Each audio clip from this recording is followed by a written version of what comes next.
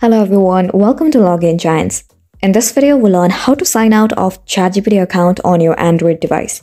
So without any further ado, let's get into the video. It really is a piece of cake. So all you need to do is open up ChatGPT and tap on three horizontal line which is at the upper left corner. And then next you'll be able to see logout option at the very bottom. Simply tap on it and you're done. So that's it for today's video. We hope you find this video helpful. Please make sure to hit the like button and subscribe to us for more helpful tutorials.